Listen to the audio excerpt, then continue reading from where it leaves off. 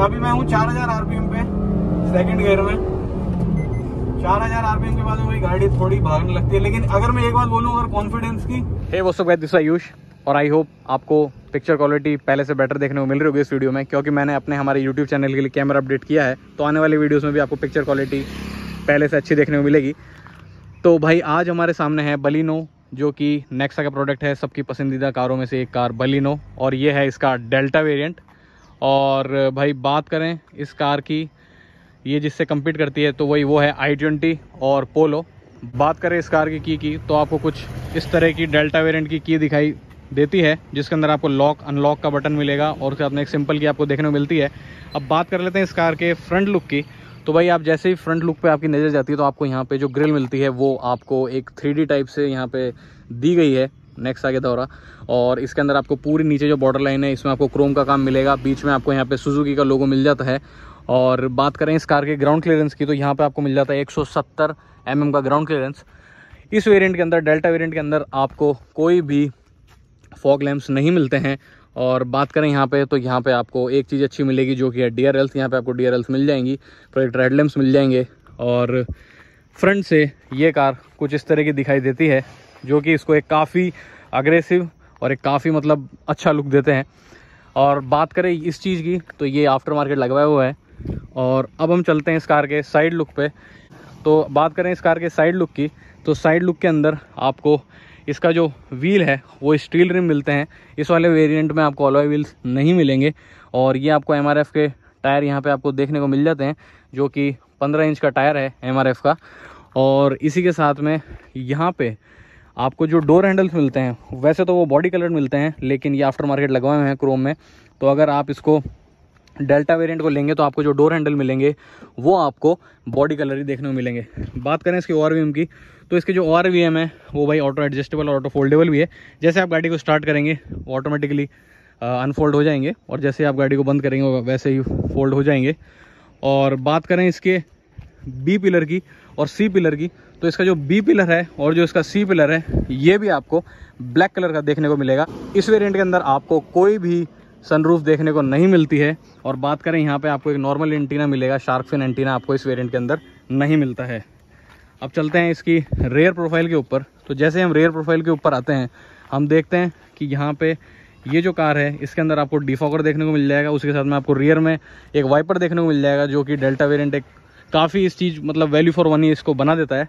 उसी के साथ में यहाँ पे आपको चार पार्किंग सेंसर देखने को मिलेंगे। कैमरा आपको इस वेरिएंट में देखने को नहीं मिलेगा। वो आप आफ्टर मार्केट लगवा सकते हैं। और ये जो चीज़ है, ये भी आफ्टर मार्केट लगवाई हुई है। उसी के साथ में साथ में जो आप ये देख रहे हैं क्रोम का, ये भी आफ्टर मार्केट लगवाया हुआ है। लेकिन इसके अंदर आपको जैसा कि मैंने बताया कि आपको डिफॉगर मिल रहा है, उसके साथ में रेयर वाइपर मिल रहा है। तो भाई अब हम आ चुके हैं कार की ड्राइविंग सीट के ऊपर और इसको चला के देखते हैं कैसी है। तो इसको सबसे पहले मैं स्टार्ट कर लेता हूँ। तो भाई मैं हूँ एक हिंडे वरना ओनर जैसा कि लोग जानते होंगे, और मैं पेट्रोल पेट्रोल की गाड़ी ओन करता हूँ वरना की।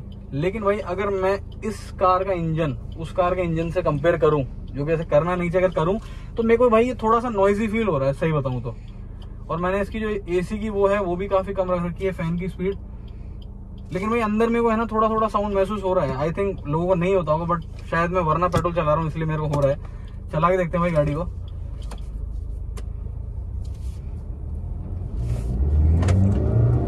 भाई पिकअप की बात करें तो 3000 आरपीएम के ऊपर जाती है गाड़ी, बहुत ही ज़्यादा वोकल हो जाती है, काफ़ी ज़्यादा इसका साउंड यहाँ पे बढ़ जाता है गाड़ी का।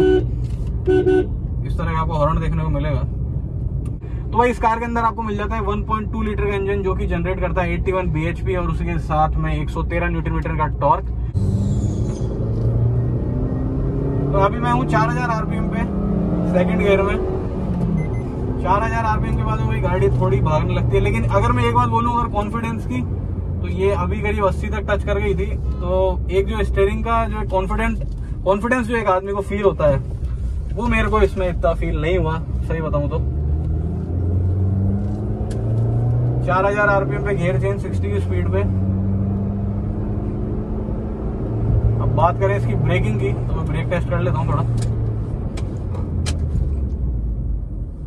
भाई ब्रेकिंग की बात करी जाए इस कार में तो ब्रेक एवरेज है, सही है। बट जैसा मैं इसके बारे में सोचता था बलिनो के बारे में कि जो बलिनो का इंजन आता है पेट्रोल इंजन वो काफ़ी साइलेंट होता होगा। साइलेंट है, मैं ये नहीं कहूँगा कि बहुत ही ज़्यादा इसमें से आवाज़ आ रही है। हाँ लेकिन अगर बात करी जाए इसमें से जो साउंड आ रहा है तो वो भाई मतलब मैं सोचा था इससे कम ही आएगा। एक बार इसको और खींच के देख लेते हैं, ज़ीरो से। तो ये मैं ज़ीरो पे आ गया हूँ फ़र्स्ट गियर 2000 आरपीएम, ढाई हज़ार आरपीएम पे। आरपीएम भाई काफ़ी अच्छे से ऊपर ले जा रही गाड़ी।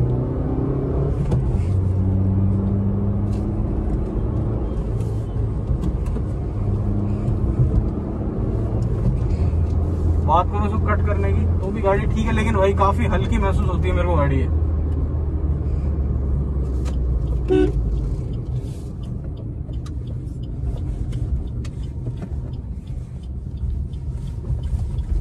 एक चीज़ और कि इस कार के अंदर आपको जो सीट्स हैं, वो आपको इसमें हाइट के हिसाब से आप इस कार में जो वेरिएंट में हाइट के हिसाब से आप सीट को एडजस्ट नहीं कर सकते हैं।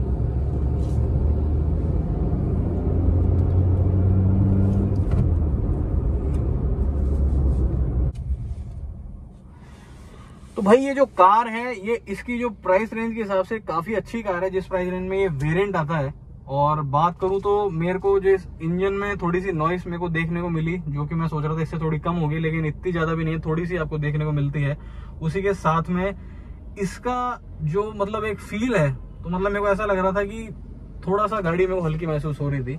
और जो इसका मेटल है भाई, जो मतलब गाड़ी का जो मटेरियल मैंने गेट खोलता तो वो मेरे को थोड़ा सा हल्का देखने को मिलता है। तो भाई, यही था एक छोटा सा रिव्यू बलिनो का, जो कि बहुत फ़ेमस गाड़ी है इंडिया के अंदर। तो भाई, अगर आपको ये वीडियो पसंद आती है तो प्लीज़ वीडियो को अपने एक फ्रेंड के साथ में शेयर कीजिए और इस वीडियो को लाइक कीजिए। चैनल को अगर भाई आपने सब्सक्राइब नहीं किया तो प्लीज़ चैनल कर दीजिए। सब्सक्राइब मैं काफ़ी मेहनत करता हूँ आपके लिए इस तरह के वीडियो लेकर आने के लिए। और जो कैमरा क्वालिटी अपन ने अपडेट करी, उसके लिए तो एक लाइक बनता ही है। तो मैं बोलता हूँ, उसे नेक्स्ट वीडियो में। Thank you so much for watching this video goodbye